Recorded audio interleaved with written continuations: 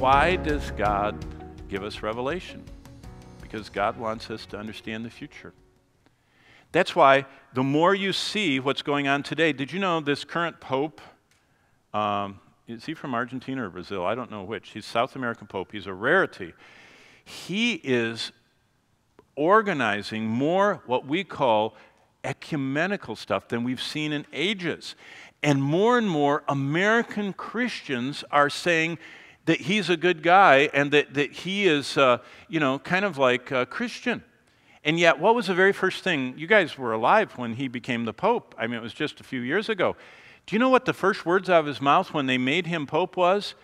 His prayer. Read it, it's on the internet. He said, Mary, I thank you.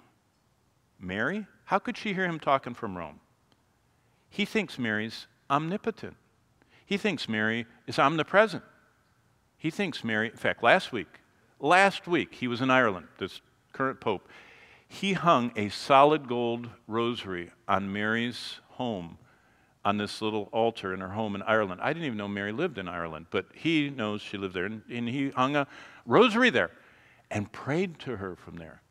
You say, what's that? God wants us to understand that Satan is going to counterfeit the truth. He's going to have Christians, by the way, Roman Catholics have about 98% Orthodox doctrine. Did you know that?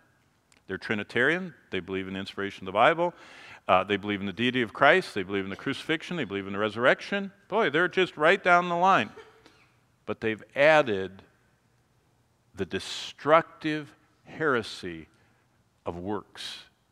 You know what Paul said? If anybody teaches any other gospel, if they mix the gospel with works, if they mix the gospel with penance, with having to take part in the Mass to be saved, to have a priest forgive you, if they do that, they're accursed. They're teaching a false gospel. So God wants us to know the future. And the seven types of churches portray the seven types of believer in stages of history. And I showed you this uh, uh, two days ago. Ephesus is like the early church, the apostolic church. Smyrna is like the suffering church that went through all those waves of suffering. Pergamus is when, after the church was legalized, it merged with all the paganism of Rome and it became the, the polluted church. Then Thyatira is when the church ruled the world, basically, the Western world. The Roman Catholic Church ruled, and that's what it talks about when we get to Thyatira. And Sardis, by the time we come to the Reformation, the church is dead. But then the missionary era, you know, William Carey and, and C.T. Studd and Hudson Taylor, the 1800 onward, became the missionary era when there was evangelism. But you know, somewhere in there, and I put 1948 because that's the year that the, the National Council of Churches and the United Nations both started, and Israel became a nation, three things at once, and the computer chip was invented. And that marked a change.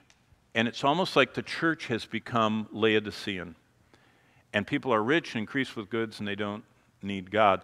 It also portrays not only the history of the church, but the seven churches portray the seven types of believers that are in every church.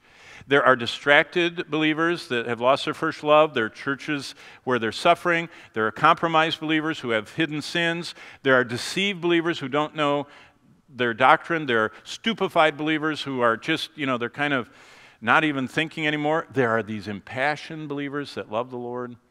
And then there are the uncommitted, lukewarm ones. And that's what's going on.